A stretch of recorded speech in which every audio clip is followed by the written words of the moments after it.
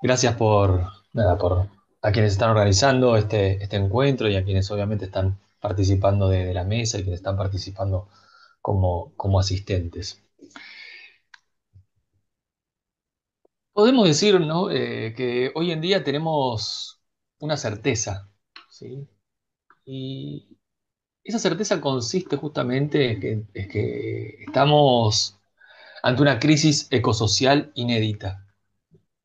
Nunca en la historia humana, por supuesto, hemos desplegado la maquinaria hemato-carnocéntrica hasta un nivel como el actual. ¿Cuál es la novedad de estos tiempos out of joint, desquiciados, fuera de quicio? ¿Dónde radica la excepcionalidad de nuestro aquí y ahora? En un cambio de ritmo, en una velocidad de aceleración inaudita, que conduce justamente a una administración de la vida sin precedentes, biopolítica inseparable de la crueldad tanatopolítica inscripta en el capitalismo extractivista contemporáneo.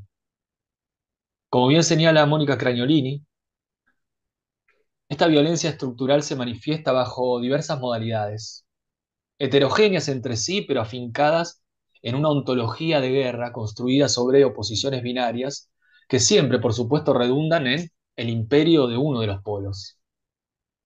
Por lo tanto, pensar en una alternativa que evite el colapso, que demore al menos el fin de los tiempos, requiere otro modo de lo metafísico, quizá un más allá de la tradición, pero por supuesto que una exterioridad o un más allá que nunca está fuera de ese mismo legado.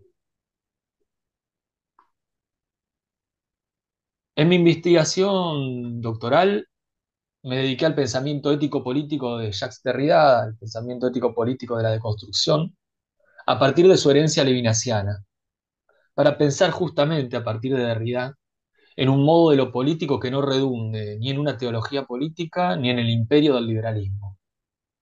Y un modelo político que esté guiado por esa relación no alérgica con la alteridad, que es una buena manera ¿no? de resumir la ética levinasiana. Comprendí a su vez que a la hora de pensar en otro modo de relacionarnos con la alteridad, se volvía necesario recurrir a otra metafísica. A una metafísica que lleva el nombre propio de Nietzsche. Y ya hace unos años que en esta búsqueda me topé con la tarea de rastrear los puntos de contacto entre las filosofías de Derrida y de Deleuze. Desde que ambas, ambas, filosofías, ambos pensamientos parten justamente del pensamiento del eterno retorno, para poner el acento en la diferencia constitutiva de todo aquello que pretende ser un uno, tener una identidad. Porque claro, no hay un mismo que retorne, sino que solo retorna el retorno, solo retorna el diferir, quedando así al desnudo la presencia espectral de lo otro en mí, esa alteridad constitutiva y que sirve de condición de posibilidad para la configuración de un yo. Es aquí donde los pensamientos de Vincent Depuy y Emmanuel Ecochia nos salen al encuentro, justamente proponiendo otro ritmo, proponiendo otra velocidad.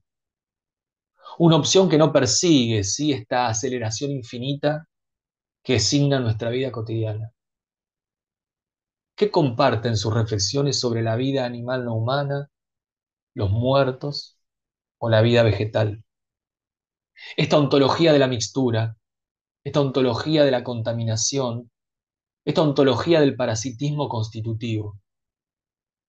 Y desde ella, por supuesto que la apertura a otro modo del pensamiento, uno que acoge incondicionalmente a lo otro, en un gesto hospitalario sin precedentes que pone justamente en entredicho la propia identidad, ¿no? Esa supuesta identidad sí, monádica, replegada herméticamente sobre sí. Ontología que necesariamente se confunde con una ética, en tanto apertura incondicional a la llegada de cualquier otro que siempre, siempre es un absolutamente otro.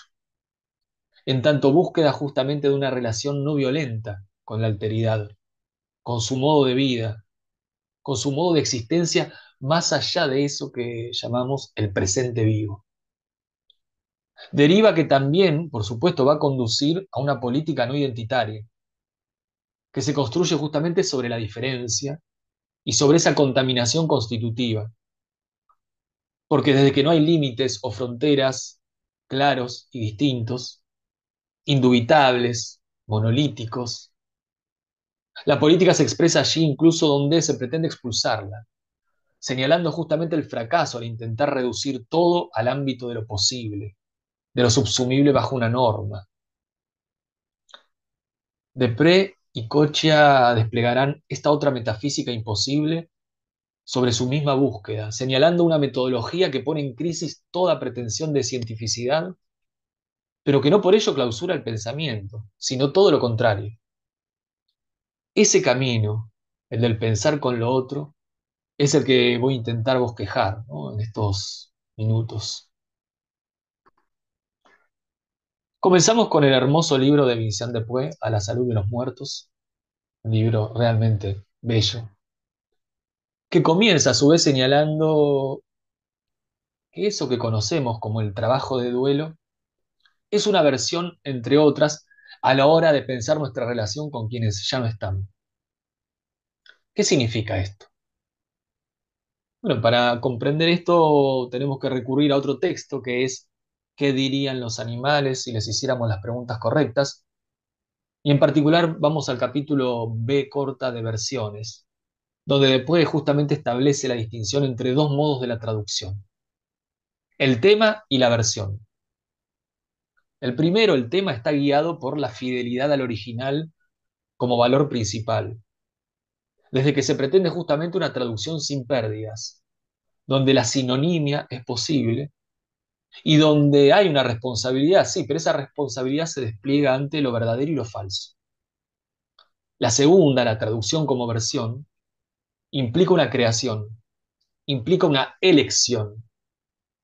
Una elección justamente a partir de múltiples traducciones posibles, donde se persigue la homonimia y la responsabilidad se asume ante las consecuencias, los efectos de la traducción privilegiada.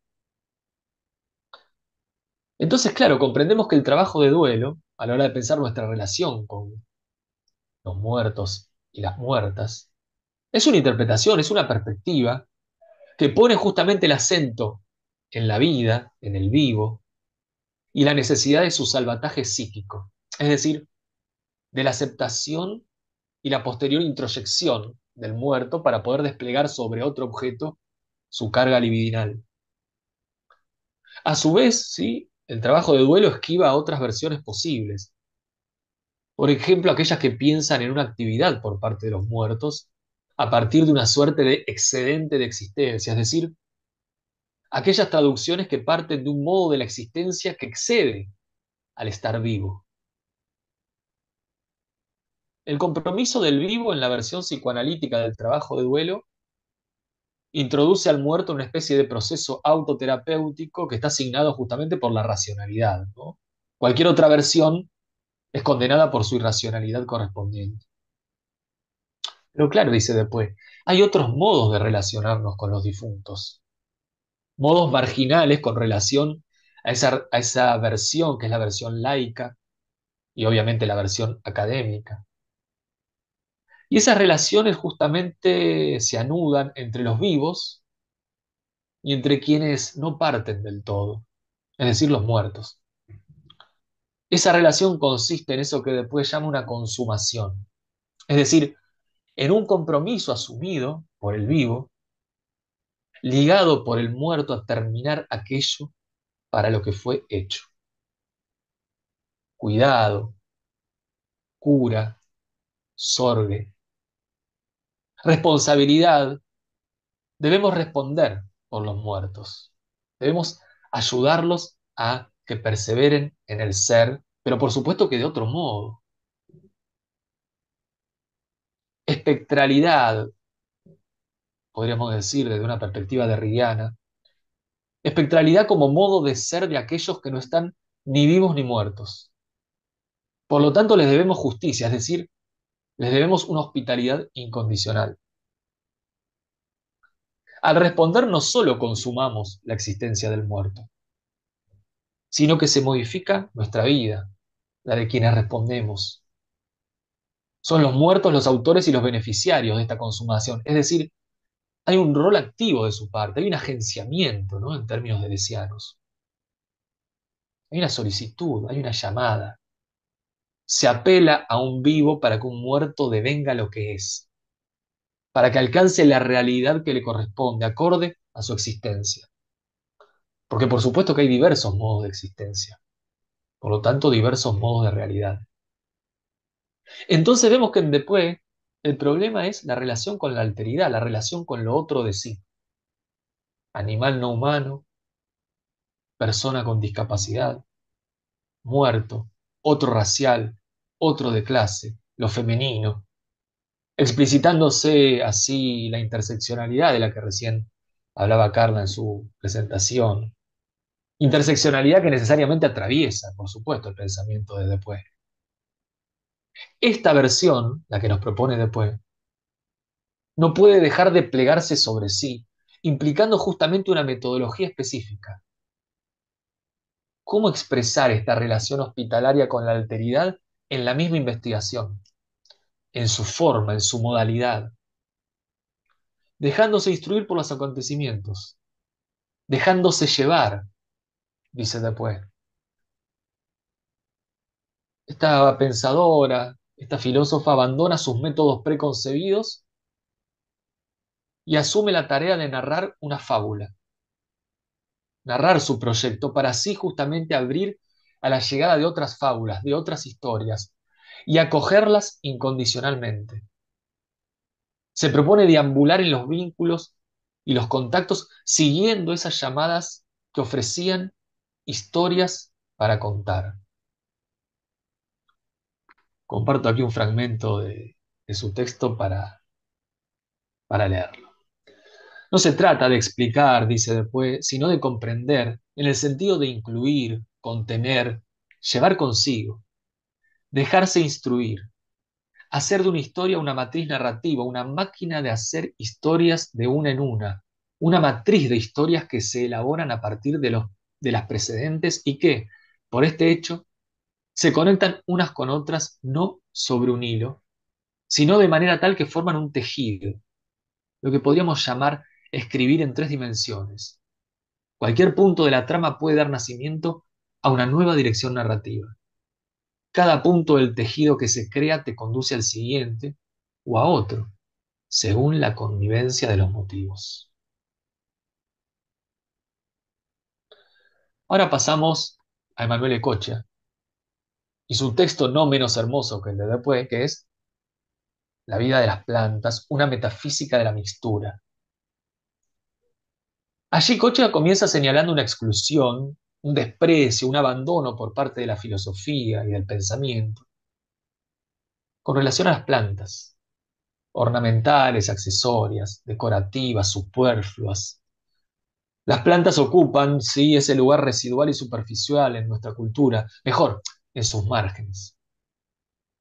Hay un esnovismo metafísico, dice Cocha, que define a nuestra cultura. Aquel que nos coloca en un lugar de privilegio en tanto hombres, en tanto existentes humanos. Autoposicionamiento soberano, antrópico. Sin embargo, las plantas, dice Cocha, son eso otro que hiere nuestro ego desde que retornan luego de haber sido ocultadas, desechadas. Una suerte de tumor, dice Cocha, del humanismo. Aquello que el existente humano no quiere reconocer como parte de lo propio, precisamente porque es un cuerpo extraño, pero que lo habita. Incluso la biología, dice, no las toma en cuenta al mismo nivel que la vida animal. Pero esto no es una cuestión epistemológica solamente, advierte Cocha no haber cuestionado la superioridad de la vida animal sobre la vida vegetal legitima el derecho de vida y muerte de la primera sobre la segunda. Esta exclusión implica efectos ético-políticos. Por eso Cocha llega al punto de criticar al antiespecismo animalista, porque sigue reproduciendo una suerte de antropocentrismo, solo que, claro, extendiendo lo humano al reino animal.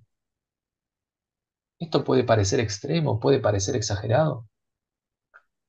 Podemos pensar ¿no? en las metáforas vegetales que usamos en la vida cotidiana para despreciar a un otro y para legitimar una violencia sobre ese otro. Del lado de las plantas, dice Cocha, lo que tenemos es indiferencia soberana hacia lo humano y la cultura. No se ven afectadas por esta ontología de guerra, por esta violencia metafísica. Carecen de sentidos que desde nuestra tradición pareciera ser el único modo de abrirnos ¿no? al mundo circundante. Pero claro, están completamente adheridas al mundo circundante, participan del mundo y participan en todo lo que sale a su encuentro, circunscribiendo el mundo a su porción de sol y cielo. Las plantas están expuestas, son exposición, pero no una exposición como la del Dasein hegeliano, sino exposición integral con comunión y continuidad con lo otro de sí. El reverso de esta adhesión total es la ausencia de movimiento. La planta no puede separarse del mundo que la acoge. Entonces, hay que ver que aquí no hay un déficit, dice Coche. Las plantas nos permiten comprender qué significa estar en el mundo, en relación con el mundo, y a la vez qué es el mundo en su totalidad. La planta vive una distancia inmensa con relación al mundo humano que tiene su causa en el metabolismo. Para sobrevivir casi todos los vivientes se valen de otros vivientes que los preceden, es decir, que los preexisten. Hay una suerte de canibalismo o tautología de lo viviente que vive de sí mismo, dice Cocha. Hay una autofagia de lo viviente. excepción, claro, de las plantas. La vida así llamada superior tiene solo relaciones mediadas con lo no vivo. El medio siempre es otro viviente. La planta encuentra vida allí donde ningún organismo la alcanza. Lo que tocan lo convierten en vida, es decir, hacen del entorno un mundo para el resto de lo viviente, hacen vida de lo muerto y ordenan la materia morfa, otorgándole una coherencia. Las plantas son las que hacen mundo. A ellas hay que preguntarle qué es el mundo, no al Dasein. Nuestro mundo es un hecho vegetal primero, luego animal y luego humano. Pero las plantas, claro, no hay que pensarlas como agentes del umbral que separa lo vivo de lo no vivo. Si bien componen la masa orgánica que nutre a la vida superior, conforman el rostro del planeta mediante la fotosíntesis, ya que producen el oxígeno que conforma nuestra atmósfera. También permiten que los organismos animales superiores puedan producir la energía que requieren para sobrevivir. Gracias a ellas nuestro planeta es una cosmogonía en acto, una génesis ininterrumpida del cosmos, del orden. Las plantas modifican la estructura metafísica del mundo. Tenemos que pensar ¿no? en una mixtura, en una metafísica de la mixtura, en una contaminación constitutiva, una crisis de la frontera que para Cocha se expresa en el soplo. Al respirar somos atravesados y atravesadas por aquello que nos contiene, pero a su vez atravesamos y construimos ese contenedor mismo. El mundo tiene la realidad de un soplo, dice Coche. El libro al que me estoy refiriendo se inserta en una tradición que es aquella que entiende la filosofía como una interpretación sobre la naturaleza del mundo. Porque solo hay, pensamiento frente al mundo y frente a la naturaleza, es decir, frente a lo otro de sí. Pero esto, dice Coche, que fue el origen de la filosofía, cayó en el olvido. la filosofía dejó de contemplar a la naturaleza. A partir del siglo XIX las ciencias humanas se impusieron. Y la filosofía deslegitima a la naturaleza y al cosmos como parte de su campo. Y pretende constituirse como ciencia humana, ciencia normal como cualquier otra. Y las ciencias de la naturaleza quedan desterradas del ámbito del espíritu, del humano, ocupándose de una suerte de objeto residuo, subordinado al sujeto, nunca devenido en uno. La filosofía, claro, entonces se termina ocupando de representaciones del mundo, de imágenes. Y esto deriva en un escepticismo que siempre se articula con una moral, dice Koch, una suerte de verdad. Y en términos políticos deriva en un reformismo. Para Cocha lo fundamental es preguntarnos también por los efectos, por las consecuencias. ¿Qué efectos se siguen de esta concepción de la filosofía? ¿Y qué efectos se siguen de una concepción metafísica como la que propone Cocha, de una metafísica de la mixtura? Y aquí nuevamente, por supuesto, que aparecen la responsabilidad y el compromiso, una cuestión ético-política fundamental. El modo de pensamiento que nos propone Cocha es aquel que excede los límites impuestos por una corporación, por la academia, que rehuye siempre a la posibilidad de abrirse a lo otro. No hay jerarquías ni privilegios a la hora de alcanzar la verdad o escribir. No hay un método único, no hay una disciplina, sino que la filosofía es justamente el saber humano despojado de toda disciplina, ya sea moral o epistemológica. Entonces, para cerrar, yo entiendo que lo que tenemos que pensar es esto que estamos haciendo aquí ahora, en esta exposición, en esta mesa, en este congreso, en nuestras intervenciones, en nuestras prácticas cotidianas. Porque pensar en otro modo de relación con la alteridad, en otra metafísica posible, que no devenga en esa ontología de guerra que mencionábamos al comienzo, implica reconocer la sombra que esta ontología despliega cuando hacemos eso que pretendemos seguir llamando pensar. Muchísimas gracias. Gracias a usted, Sebastián. Y pasamos a la última ponencia de esta mesa, Rodrigo